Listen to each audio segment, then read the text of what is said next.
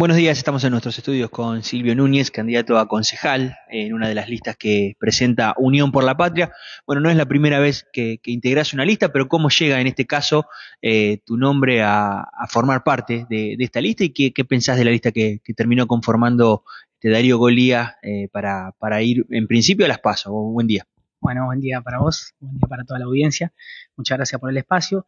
Eh, sí, la verdad que venimos trabajando hace un tiempo largo ya de parte del Instituto Proyectar, con el equipo de Darío, con, la juventud.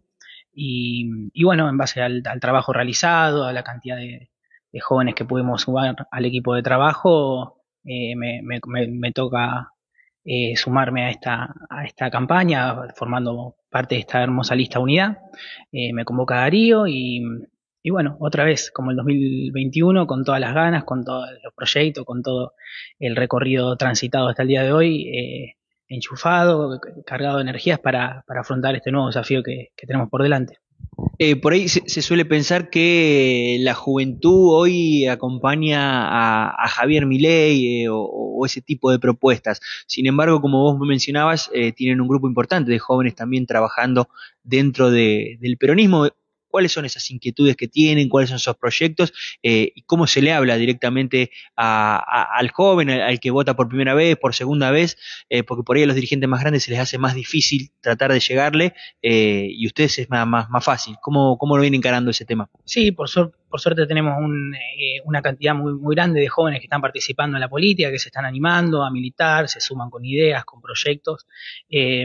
y y bueno, nos da, nos da fuerza, la verdad que tenemos una historia, la verdad que podemos eh, comprobar que bueno, Darío eh, estuvo ocho años en la Intendencia de Chacabuco, donde, eh, donde se potenciaba la cultura, donde se escuchaba a los jóvenes, donde se hicieron muchas cosas importantes, y bueno, hoy en día sabemos que, que los jóvenes están muy abandonados, digamos, no hay un punto, un punto de encuentro para, para, para los jóvenes. Nosotros creemos que, que no, necesita solo un punto de encuentro, sino que hay que ir a buscar a la, juventud. Eh, y estamos en eso, recorriendo casa, eh, casa por casa, eh, escuchando todas las problemáticas y, y, trabajando en conjunto. La verdad que están todos los sectores de toda la juventud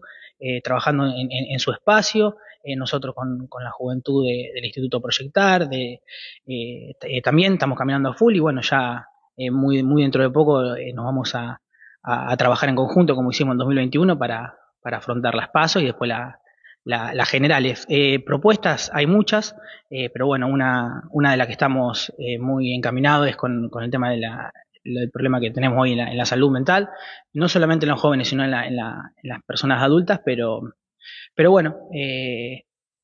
trabajando, caminando mucho, capacitándonos, formándonos para, para que la gente pueda, pueda darnos la oportunidad de, ser gobierno y con las herramientas que, brinda el municipio dar, dar respuesta a los vecinos que hoy lo están necesitando. Eh, uno de los problemas también que, bueno, no es solamente los jóvenes, pero, pero sí por ahí lo sufren más los jóvenes, tiene que ver con las casas de estudiantes, eh, el estado en el que están las casas de estudiantes, eh, ¿están al tanto de esta problemática? ¿Cómo la, la están trabajando? Sí, sí, la verdad que, bueno, sabemos que,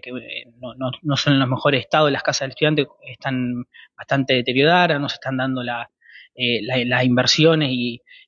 que, realmente se tenían que, que estar dando. Tenemos muchos chicos eh, viviendo que nos, nos, cuentan su, su, realidad y nos da mucha pena, nos da mucha pena porque se hizo un esfuerzo muy grande para, para tenerla en, aquel momento.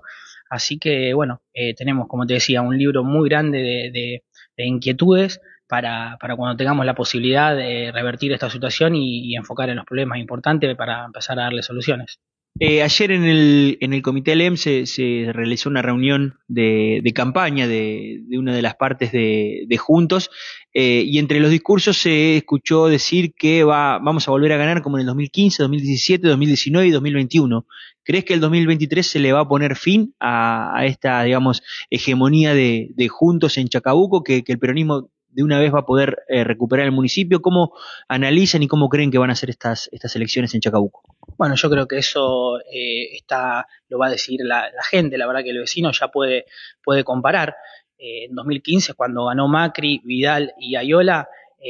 bueno, después, cuatro años después, decretan emergencia económica el, municipio, fueron castigados los empleados municipales, cerraron escuelas, bueno, se cerró el, Ministerio de Salud, eh, no se creó una sola vivienda y bueno, la, gente conoce a Darío, sabe cómo gestionó, cómo fue intendente y cuando uno empieza a analizar, a ver, los tres SIC que se crearon, la cantidad de, cuadra de pavimento,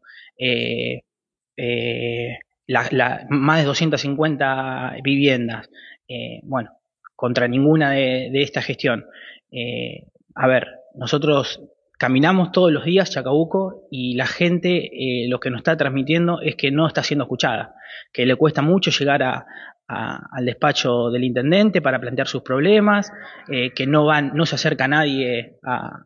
preguntar cómo están los barrios, eh, hay, hay gente en los barrios que ni siquiera tienen contenedores, que tienen que sacar la basura, subirla al auto, hacer cuatro cuadras y tirar la basura en otros contenedores, cuando hicieron campaña con, con, los contenedores, que no tienen luminaria, cuando hicieron campaña en el luminario, quizás la enfocaron en el centro donde realmente se están, se están necesitando en, otros lugares.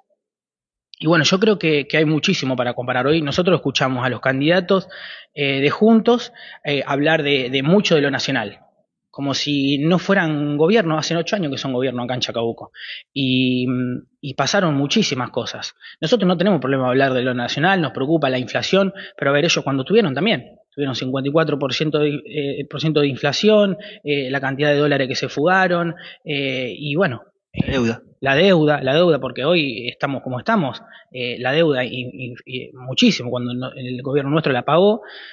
influye muchísimo, quise decir, eh, la deuda, bueno, la pandemia, la guerra, la sequía. Y yo creo que, bueno, estamos en un, en un, en un momento muy esperanzador para, para Chacabuco y para el peronismo. Eh, primero porque, bueno, eh, tenemos un, horizonte con los, gasoductos, donde antes em, ahora, ahora podemos vender, antes importábamos gas, ahora podemos vender, bueno, se vienen momentos de lluvia, eh, para el año próximo, que lo, están diciendo los especialistas. Eh, la verdad que eh, es un momento importante para que la gente pueda acompañar este proyecto, este modelo, porque se está haciendo un esfuerzo muy, muy grande para, para que la Argentina vuelva a estar de pie,